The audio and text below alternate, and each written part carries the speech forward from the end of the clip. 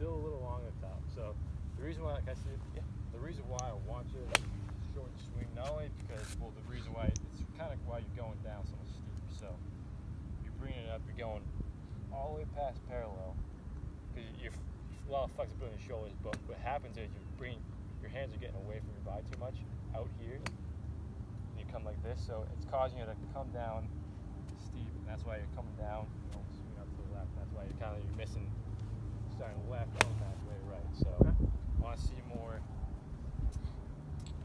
close to your body, shorter, and this is about as far as I want you to go. Okay. So it's, it's gonna feel short. It's gonna feel like you're probably coming to like right here. It's gonna feel different for a little bit, but I want you to start trying that a little bit, just so we can kind of get you used to coming coming up shorter. Okay. So one where you really feel like you're gonna be short. That's right there, right there. So let's focus on routine. Want to get consistency down a little bit. Um, so walk me through your routine when you're hitting the driver. Okay. Um, pre-shot, I usually take a step behind everything. Try to visualize what I'm going to do. Um, once I'm comfortable with something I think I'm going to perform with, Okay. step up to the ball. And what do you? What's your thought? What's, what's your thoughts going through? My main thought, something I struggle with a lot, Uh, is bringing my takeaway with my hands close to my body okay. because I get very disconnected, Okay. and that's a big part of the reason I think I come across it. Could be wrong, but my main swing thought is typically on the takeaway, making sure I keep my hands close to my body instead of getting disconnected. All right. So our goal with having a routine is we want to minimize as many thoughts as possible off the tee. So that's really something I really think you can improve on. So let's just do five shots like you're hitting it right down, right down the fairway. Just to go through your whole routine. Okay. Let's make we're gonna make a fairway between the red flag and the tree. It's Okay. pretty wide, but we're gonna get it. We're gonna start up big and then we're gonna narrow it down each time. So five shots right here. All right, Matt. Go through your routine. Go through everything. And we'll try to eliminate all the thoughts. Just stand up, stepping up, and hitting it. Trusting routine. New hole.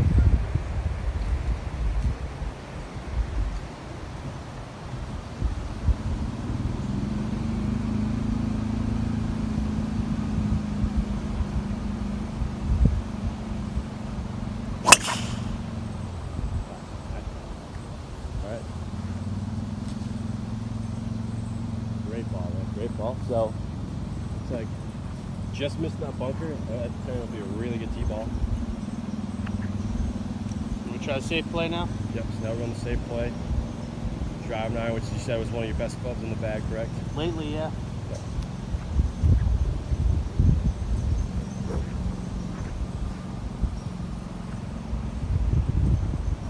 Good, good routine. I like it.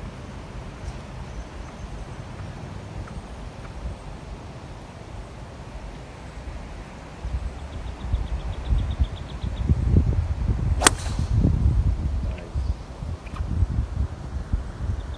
All right, so two really good shots.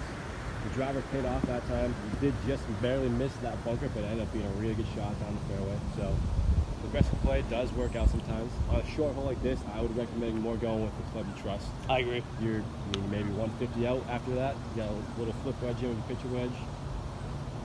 You avoid you avoid all the trees, letting the water's not in your way. So that's just to show you the game management. You know, Perfect. sometimes you gotta sometimes you gotta step there. You gotta keep the driver in the bag. Mm-hmm.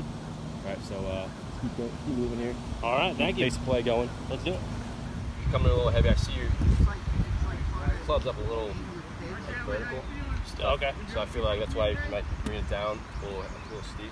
What I want you to do is I want you to open the face a little bit just to kind of increase the, the bounce of the club. Mm-hmm. Lower your shaft just a little bit, and I feel like that's going to help you level out, level out your plan there, the chips. That makes sense. And the last thing, I don't want to put too many th- things in your head. Last thing I want you to start your waist a little forward and try that out for me.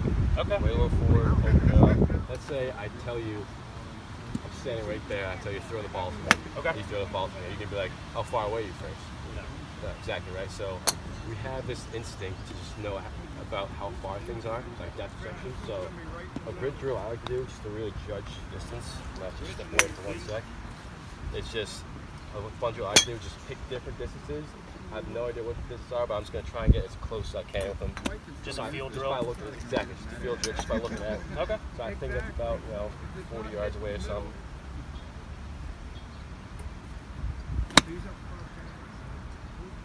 Uh, I, I'm off Pretty close. one. Now I'm just gonna change it up. I'm gonna go this flag over here. It's a little further. It's about a little further.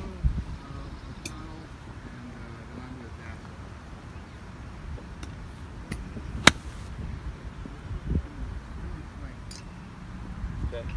So like, just keep doing that. Just keep picking different targets, back to back, and just keep kind of trying to see how close you get. So not, not even knowing the distance, just by judging the distance yourself. Um, I got a All right, so nine pole. To finish this nine off strong.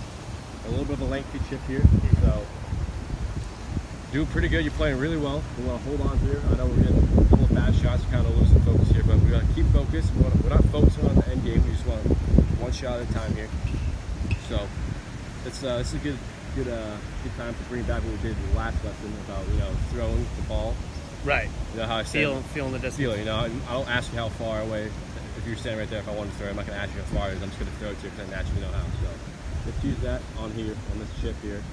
So I want you to take a couple couple practice swings, like you're going to try to gauge how hard how hard to hit it and get that ball right to the pin.